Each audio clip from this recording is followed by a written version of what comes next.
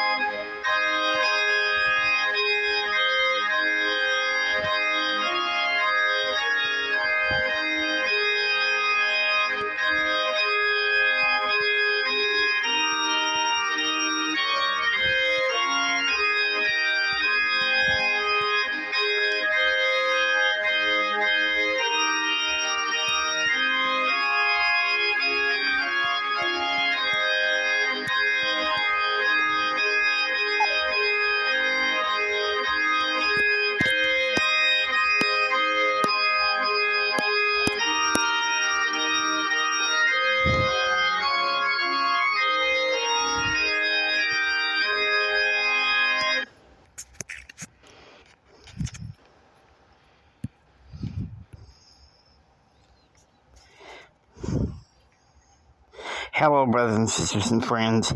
This is Jimmy here. Welcome to uh, Saints Peace. Today, we're going to be talking about a sensitive subject. This is episode four um, single adult issues. And to tell you the truth, we're not going to. We're not going to categorize them into age groups and stuff like that because the motto of the James Hendrick empowerment levels is is no no labels.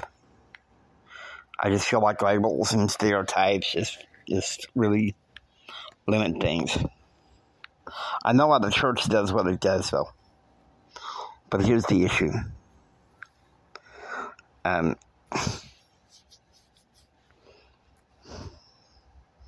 singles such as myself we love the church. We love what it stands for as far as families. But sometimes we don't know exactly where we belong in the church. Um, each of us have um, unique issues. Some of us come from dysfunctional families and the like. And I have to say, as a person that's single, I have a heart for those that, that, that have that. I once was married, and my marriage sadly ended. But it was my marriage that that that broke that broke that led me to join the church. So in many ways, it's it's a blessing. But I have to be honest with you. There are times when I'm going through hard times. Um, the church emphasis on family, and there's nothing wrong with that. Okay, because I believe in traditional family values.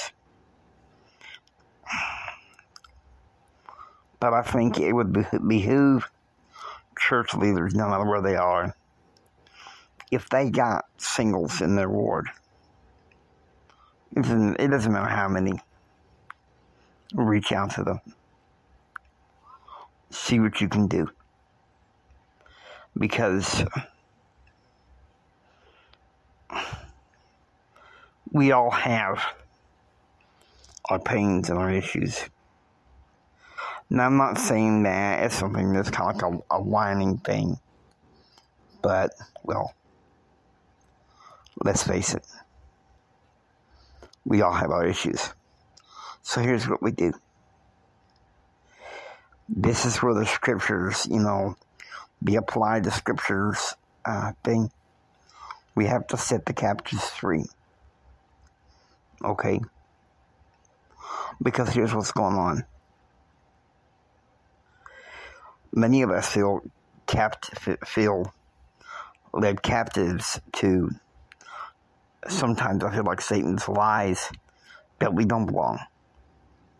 That we don't belong anywhere. And especially we in the priesthood. we in the priesthood should know. The ones that have priesthood keys over singles, um, namely, particularly the Elders Quorum and for the women of the Relief Society, working, you know, in consultation with the bishop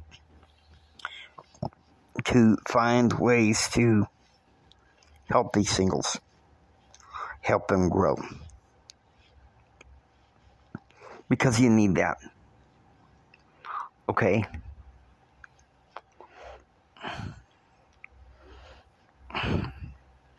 Saints' peace. I assembled it so that we know that we as Latter-day Saints, we can be people that accept peace offerings. But to know where peace comes from, let me tell you something, the world doesn't give peace. If it, if it does, it's, it's not an easy peace. So, our peace is in, is in Christ. Been going through some of my own challenges in my life, and a few days ago,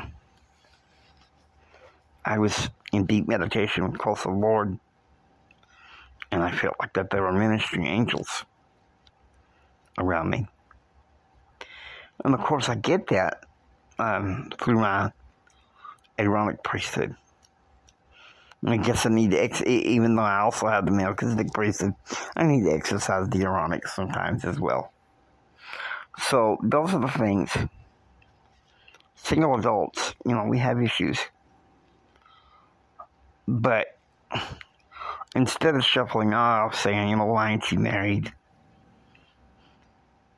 Because some of us, like myself, is disabled. I know there's limited uh, options. So, um, the best thing I think we can do is to